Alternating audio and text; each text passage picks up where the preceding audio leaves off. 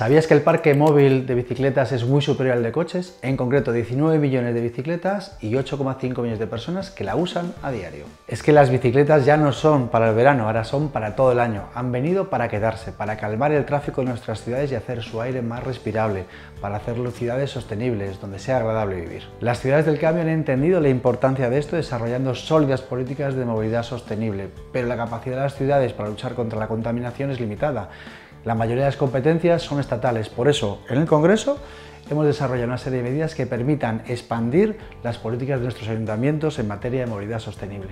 En movilidad es un consenso que las bicicletas pacifican el tráfico, es decir, disminuyen el número de accidentes, por lo tanto necesitamos aplicar medidas que fomenten su uso y garanticen su seguridad.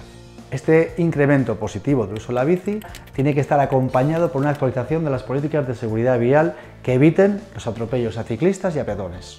Por eso hemos creado en el Congreso una iniciativa para que se cree un curso especializado para aquellas personas que hayan tenido accidentes con ciclistas o con peatones.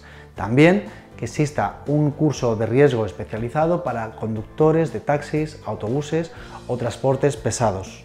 Esta iniciativa está inspirada en Inglaterra en el programa Exchange Places, que significa literalmente intercambiar lugares. Y por último, aunque sea novedad, que estos cursos sean impartidos por entidades expertas en el uso de la bicicleta en entorno urbano, como ya está ocurriendo en muchos ayuntamientos.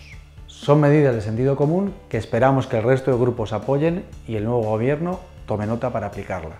Un agradecimiento a esas personas y entidades que trabajan por la pacificación del tráfico e inspiran nuestras iniciativas en el Congreso, con Bici, Plataforma Andando y un especial recuerdo para Mariano González, fallecido recientemente, activista de movilidad sostenible, querido porque fuiste, somos porque somos, serán.